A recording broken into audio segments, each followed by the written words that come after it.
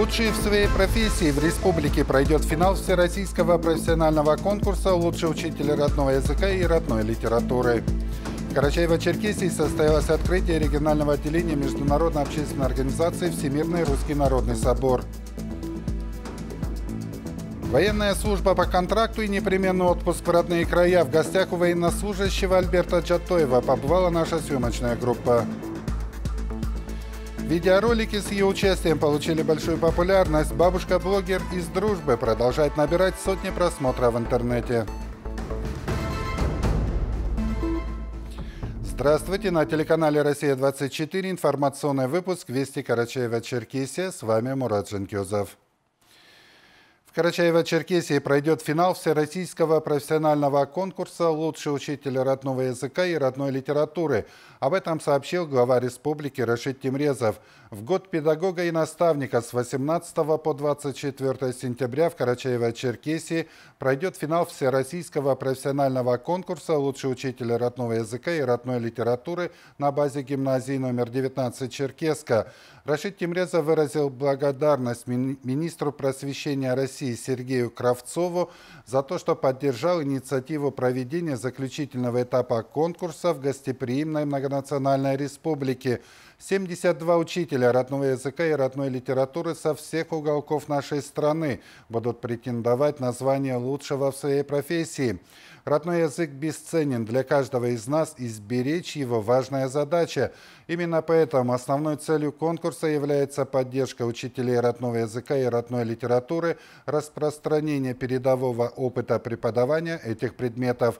Пусть этот конкурс станет стимулом к новым победам во благо нашей общей Родины России.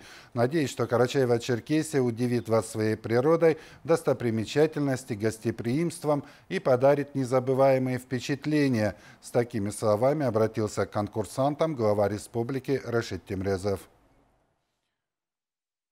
Накануне в Никольский собор Черкеска доставлен ковчег с мощами святого великомученика Георгия Победоносца. Это сделано в рамках Всероссийского молебна о победе, который проходит с мая по сентябрь в 100 городах нашей страны по благословению святейшего патриарха Московского и всея Руси Кирилла. О том, как встречали мощи в Черкеске, расскажет Али Баташев. Ликованием колоколов и сердец верующих встретил Никольский собор ковчег с мощами великомученика Георгия Победоносца. Процессия во главе с архиепископом Пятигорским и Черкесским Феофилактом торжественно внесла его в храм. Всех собравшихся здесь объединяло желание молитвенно обратиться к святому и поклониться его мощам – Образ воина на коне, пронзающего змея, самое известное изображение Георгия Победоносца. Его имя объединяет в истории крупнейшие исторические победы нашей страны, считает руководитель общества «Царьград» в Карачаево-Черкесии Денис Труговцов. Георгий Победоносец – это очень почитаемый святой в России, и а, именно о таких а, событиях, которые мы страстно желаем, это победа, а, молиться нужно ему в первую очередь. И вот награды наши, ордена славы в советское время с георгиевской ленточкой, ордена георгиевских кавалеров четырех степеней, на них тоже георгиевская ленточка изображена. То есть вся наша история пронизана и проходит вместе с этим святым. Ковчег с мощами великомученика Георгия был доставлен в Никольский собор в рамках Всероссийского молебна о победе, который проходит с мая по сентябрь этого года в 100 городах нашей страны по благословению святейшего патриарха Московского и всея Руси Кирилла.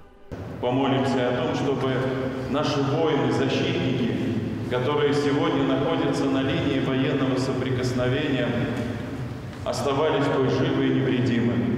О том, чтобы Господь даровал им крепость духа, чтобы Господь укрепил их в их деле, которое сегодня они совершают ради всех нас, ради великого наследия Великой Руси. Помолиться о победе и поклониться мощам святого верующие Карачаева-Черкесии смогут до 19 часов 13 сентября. Затем ковчег с мощами будет доставлен в столицу Кабардино-Балкарии. Али Баташев, Али Бастанов, Вести Карачаева-Черкесия. Новая общественная организация объединит народы страны. В Общественной палате Карачаева-Черкесии провели учредительное собрание регионального отделения Международной общественной организации «Всемирный русский народный собор». Мероприятие проходило с участием заместителя председателя Всемирного русского народного собора, председателя общества «Царьград» Константина Малафеева. Подробности расскажет Дарья Тендит. Международная общественная организация «Всемирный русский народный собор» была создана в 1993 году по инициативе Русской Православной Церкви для объединения всех неравнодушных верующих к настоящему и будущему России. От имени главы республики ко всем присутствующим обратился председатель Народного собрания Карачаева-Черкесии Александр Иванов. Всемирный русский народный собор ведет работу по сохранению духовного и культурного наследия России развитию социальной и экономических сфер. И самое главное, способствует взаимодействию православной церкви с традиционными религиями Российской Федерации и проповедует нравственные ценности, которые присущи этим религиям, ведет профилактическую работу против идеологии нацизма и религиозного экстремизма. Собор является крупнейшим общественным форумом в нашей стране, в работах которого принимают участие представители традиционных конфессий России, руководители федеральных и региональных органов власти, деятели науки и культуры. Со словами поддержки обратился Кади Духовного управления мусульман Карачаева-Черкесии Муратби Хаджи Лайпанов и выразил надежду на дальнейшее плодотворное сотрудничество. Одной из важнейших целей форума является содействие культурному, социальному и экономическому возрождению России и русского народа, отметил заместитель патриарха Кирилла во Всемирном русском народном соборе Константин Малафеев. В последние годы мы очень активно сотрудничаем с исполнительной властью, сотрудничаем, собственно говоря, с администрацией президента и э, главой государства в том, чтобы предлагать стратегию будущего России. По главы собора Святейшего Патриарха собор э, призван явиться центром интеллектуальной жизни страны для подготовки, проработки стратегии будущего России. Сопредседателями регионального отделения Всемирного Российского Народного Собора были избраны председатель Народного собрания Карачаева-Черкесии Александр Иванов, председатель Общественной палаты Республики Елена Лешова и архиепископ Пятигорский Черкесский Феофилакт. Я очень благодарен главе нашей республики за такую активную позицию и за поддержку традиционных и религиозных конфессий, и, конечно же, наших национальных культур, э, которые, титульных наций, которые проживают в нашей республике. Итогом собрания стало создание Карачаево-Черкесского отделения Международной общественной организации «Всемирный русский народный собор». Дарья Тендит, Мурат Джанкезов, Вести Карачаева-Черкесия. После в Никольском соборе состоялась встреча Константина Малафеева с семьей участника специальной военной операции, которая стала 500-тысячными участниками молебна о победе. На встрече было отмечено, чтобы одолеть внешнего врага, в первую очередь очень важно укрепиться духовно – Самое же главное в народном единстве – это единство в традиционных ценностях. Всех должен сплотить единый духовный порыв по поддержке сражающихся воинов. И, конечно, к победе в сегодняшней священной войне с богоборческим Западом. Есть такая профессия – Родину защищать. Я рад, что могу назвать себя защитником Родины. Побеждает сильнейший.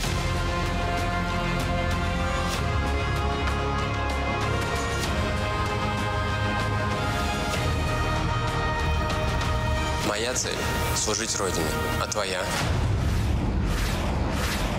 Житель Усть-Джигуты Альберт Джаттоев достойно защищает отчизну, находясь в зоне специальной военной операции. Он проходит военную службу по контракту, а совсем недавно он вернулся в родные края.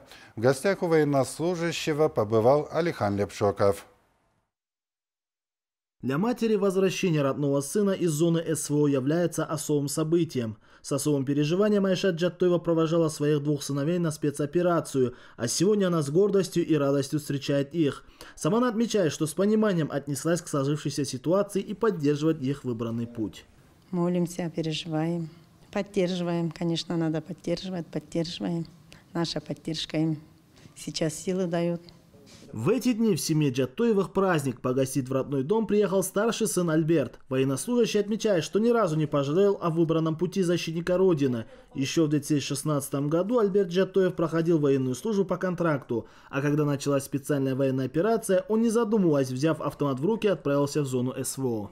Ну, это моя работа, я эту специальность выбрал.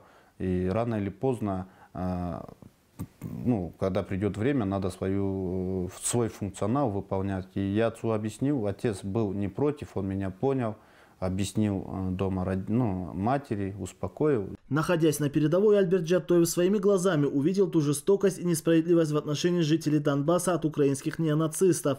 Он еще больше утвердился в правильности принятого им решения и как истинный воин встал на защиту мирного населения. Чтобы вы понимали, даже к своим э, соотечественникам, то есть своим к старики, там, бабушки, у них отношение совсем другое. То есть, э, когда ты это все видишь, к тебе приходит понимание, что это все неспроста и не, ну, что реально есть проблема и реально надо эту проблему решать. Альберт Джатоев отмечает, что наблюдал, насколько может быть лживой западная пропаганда, когда многие преступления украинских нацистов просто скрываются от глаз обычного обывателя. Но Альберт сам был свидетелем, как те же ракеты со стороны противника просто попадали в местонахождение обычных граждан. Какой-то населенный пункт. А, вот у нас выявление конкретной цели, а, осмотр, вот как мы работаем, осмотр, наблюдение – наблюдаем. И когда э, мы видим, что в, зо, в зоне поражения нет никакого мирного населения, мы тогда уже начинаем работать. А у них нет такого, потому что у них все наоборот. То есть любой дом, который есть по улице, грубо говоря, они не смотрят, есть там э, военный или мирный. То есть они ложат все дома. Служба военнослужащего проходит непросто, а тем, кто ждет их дома, еще сложнее. Важно отметить, что по поручению главы Карачаева-Черкесии Рашида Тимрезова семьям, находящихся в зоне СВО, оказывается всесторонняя помощь. Я был сам свидетелем. Недавно приходи, приходили э, люди, которые этим занимаются спрашивали, что нам нужно, чем помочь, как помочь. Также участникам спецоперации отправляют гуманитарные грузы, собранные единым штабом под эгидой главы республики. Порой кажется, что как будто дома, потому что отправляют здесь женщины отправляют хачинов наших, ну, народных, а Иран отправляют, как бы, ну, в этом плане огромное спасибо всем, кто нас поддерживает. Вот. Мы это ценим, мы это видим, знаем и ну, благодарим вас за это. Особенно приятно читать военнослужащим письма детей, полученные вместе с гуманитарным грузом. В основном у нас как, э, если у нас блиндаж, то эти письма у нас мы э, развешиваем в блиндажах, э, на стенке. То есть смотрим, читаем, по возможности отвечаем каждому. А касаемо денежного довольства, сам Альберт Джаттоев отмечает, что он получает все положенные ему выплаты. На данный момент, э, насколько я знаю, минимальная зарплата это чтобы у, человек, у человека была просто, он был рядовой, и у него была самая низкая тарифная сетка, он получает 204 и выше, ну не меньше. Безусловно, все наши солдаты сражаются не за денежные выплаты, а за мир и благополучие нашего государства. За наш а, братский народ, который там есть, и за свою безопасность, э, за, за безопасность нашей страны, потому что если э, мы не будем защищать безопасность там, то придется нам защищать ее тут. Альберт Джаттоев, как и многие наши ребята, которые находятся на передовой, выбрал доблестный путь. Это путь защиты нашего Отечества – и эту дорогу может выбрать каждый, кому не безразлична судьба России, заключив контракт с Министерством обороны Российской Федерации. Алихан Лепшоков, Вести Карачаева-Черкесия. В Ставропольском крае стартовала этнографическая экспедиция, посвященная сбору сведений по истории, обычаям и традициям карачаево-балкарского народа. Карачаево-Черкесия вошла в большой творческий проект под названием Цикл фольклорных экспедиций по выявлению объектов нематериального этнокультурного достояния народов России.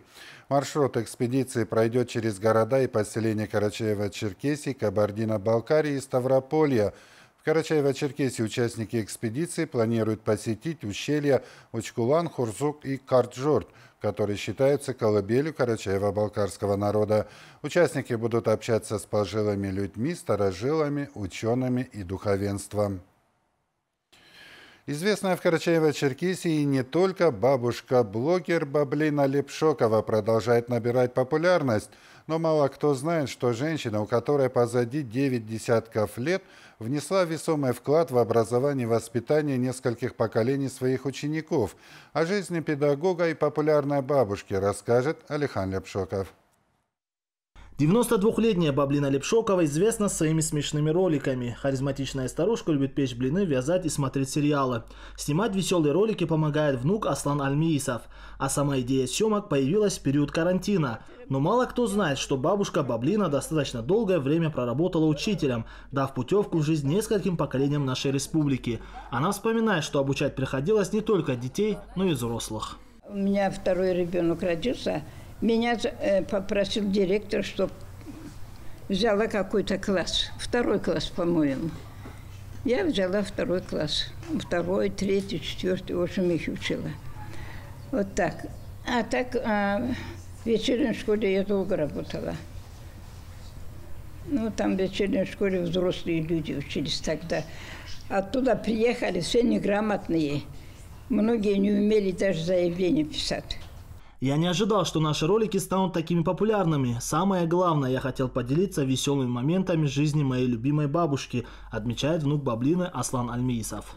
Я пробовал много чего снимать, но ничего не набирало просмотры. Потом по приколу навел камеру на Баблину, и в ней, я не знаю, как все звезды, что ли, сошлись.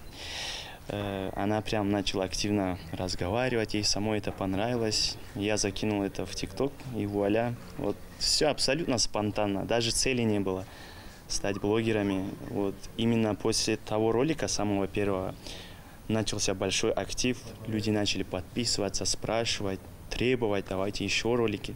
Она человек с активной жизненной позицией, и нам приятно, что много людей отмечает талант нашей мамы, уверяет дочери бабушки Баблины. После школы, вот во взрослой жизни уже я знаю очень многих ее учеников, которые с уважением всегда э, и спрашивали, и передавали приветы и так далее. Ну, ее ученики я имею в виду. Учитывая ее возраст, степенный, можно сказать, ей 92 года, так она ничего, хорошо себя чувствует, э, ведет активный образ жизни. Вы можете это наблюдать, все ее эти съемки и так далее. А, ну, вы знаете, мне кажется, вот этот ее секретик, что она вот так долго и в таком здравии, в этом, она очень позитивный человек. Совсем скоро начнутся новые съемки с бабушкой Баблиной, так как самое ценное для меня, помимо популярности, видеть ее беззаботную радость, подчеркнул ее внук Аслан Альмиисов. Аляхан Лепшоков, Мухаммед Ашибоков, Вести Карачева-Черкесия. Сегодня мы познакомим вас со знаменитым альпинистом Николаем Дмитриевичем Черным. Он обладатель титула «Снежный барс», главный тренер сборной России по альпинизму, совершивший в 2007 году восхождение на гору К2 по ранее непревзойденной западной стене, самому сложному маршруту на вторую вершину мира – а свой путь в альпинизме Николай Черный начал в Донбае. На высоте более 3000 метров с легендарным альпинистом встретилась съемочная группа «Вестей». Далее смотрите репортаж Аллы Динаевой, а я прощаюсь с вами. Всего доброго.